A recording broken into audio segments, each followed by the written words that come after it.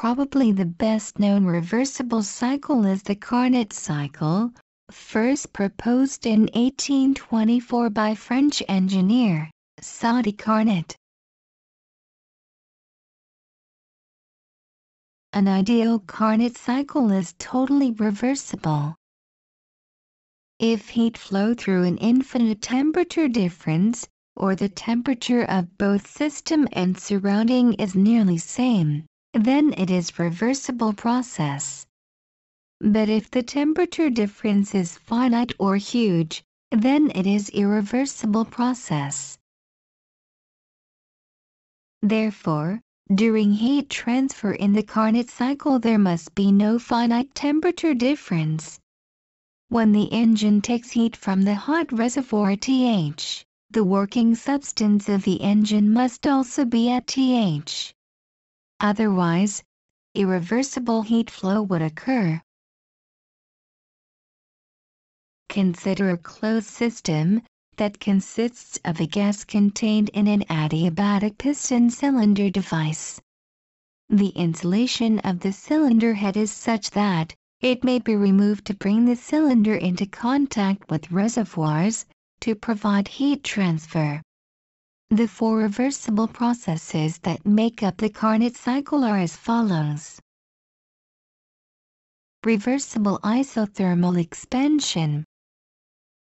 Initially at state 1, the temperature of the gas is TH, and the cylinder head is in close contact with a source at temperature TH. The gas is allowed to expand slowly, doing work on the surroundings. As the gas expands, the temperature of the gas tends to decrease.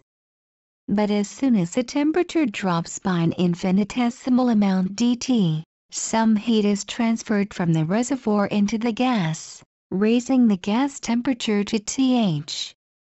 Thus, the gas temperature is kept constant at Th. Since the temperature difference between the gas and the reservoir never exceeds a differential amount dt, this is a reversible heat transfer process. It continues until the piston reaches position 2. The amount of total heat transferred to the gas during this process is QH. For an ideal gas, internal energy is function of temperature only, and if the temperature is kept constant then change in internal energy shall be zero. That's why according to first law every heat given is converted to work done. And, that's why, there is change in pressure, and volume only as work done is related with pressure and volume change. Reversible adiabatic expansion During this process, temperature drops from TH to TL.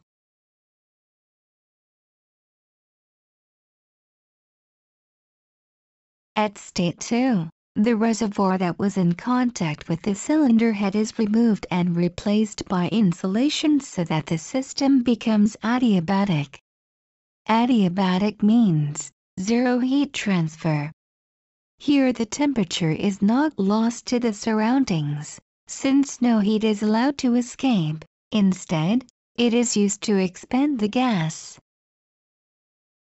The gas continues to expand slowly, doing work on the surroundings until its temperature drops from TH to TL.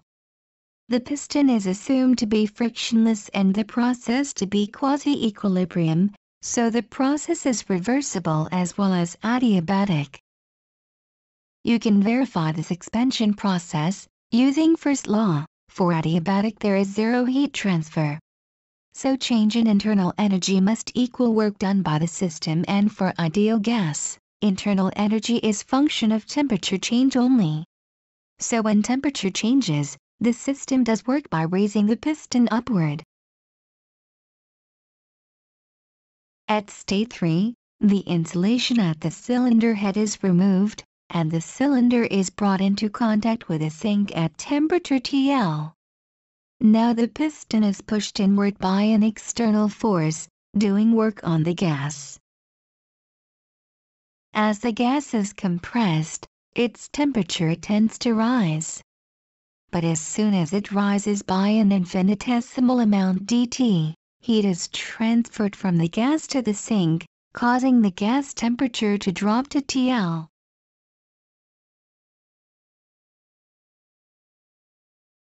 It continues until the piston reaches state 4. The amount of heat rejected from the gas during this process is QL.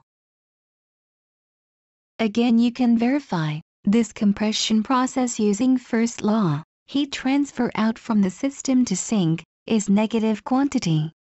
Temperature TL is constant, so zero energy change. And the work done will be negative, which means compression.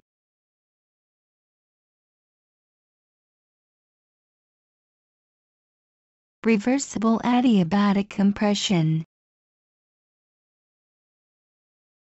State 4 is such that when the low temperature reservoir is removed, the insulation is put back on the cylinder head, and the gas is compressed in a reversible manner, so the gas returns to its initial state, state 1. The temperature rises from TL to TH during this reversible adiabatic compression process, which completes the cycle.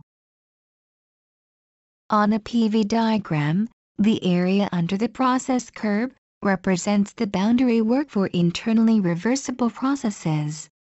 We see that the area under curve 1 2 3 is the work done by the gas during the expansion part of the cycle, and the area under curve 3 4 1 is the work done on the gas during the compression part of the cycle. The area enclosed by the path of the cycle is the difference between these two and represents the net work done during the cycle.